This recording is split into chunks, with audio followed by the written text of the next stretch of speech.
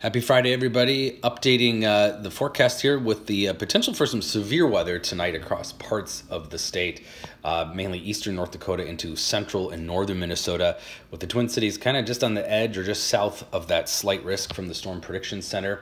Uh, there is going to be some storms popping later in the evening hours uh, across northwestern Minnesota, likely, and moving uh, south and southeast, depending upon how much wind they produce. Those storms could dive straight south and affect the metro, or they could make more of a southeast traje trajectory and move into uh, central Minnesota, northwestern Wisconsin.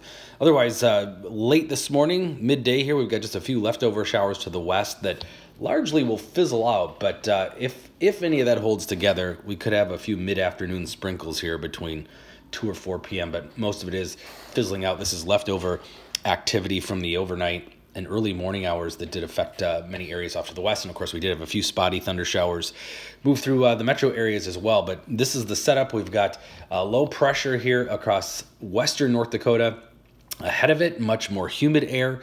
And uh, that's basically where you're seeing all the clouds and some of these broken lines of showers and storms that extend all the way into Missouri and Arkansas and then into North Dakota. And we've got a spin here across uh, eastern North Dakota. It's actually uh, pretty uh, defined upper level spin, upper level disturbance. We call this an area of vorticity, basically a spin in the uh, upper, middle, and upper atmosphere, a little pool of cool air aloft, and that is the focal point for where storms will be developing later ahead of that L. It's not low pressure, but low heights. We're talking about the middle of the atmosphere, but that's going to be the focus uh, as we head into the late evening and overnight hours.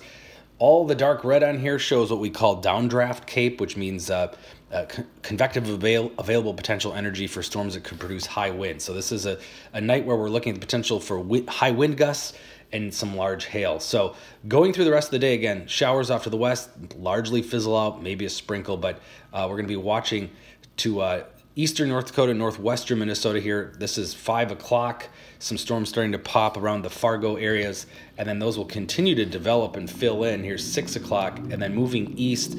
Uh, now we're at 8 p.m., maybe around Brainerd, Bemidji areas, and then bowing out uh, and making their way uh, east here into uh, northwestern Wisconsin and eastern uh, northeastern Minnesota. So this particular model keeps that line of storms and those winds just north of the Twin Cities, but even as close as Cambridge, Mora, you guys could see some of those storms. And again, the potential is for some of those high wind gusts here.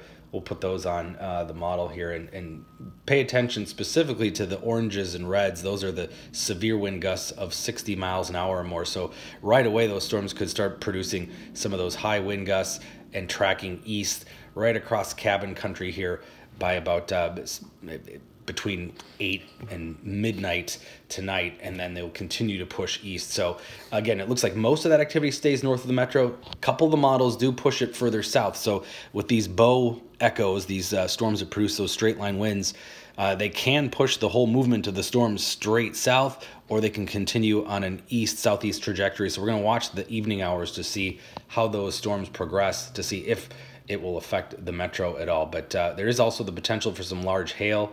Uh, we'll put on what the uh, estimates of hail are to the west at the moment, but uh, two to three inch hail uh, estimates by some of the parameters we use for that. Otherwise, it's going to be a steamy weekend. We're talking about uh, temperatures well into the 80s, very humid. Dew points are going to be near 70 tomorrow and Sunday. And if we do see those storms move south, we could have a little early morning thunder, some partial clearing. And then it looks like Sunday night could be a repeat of overnight storm activity with dropping humidity finally uh, through the day Monday. And then it looks pretty nice here most of next week.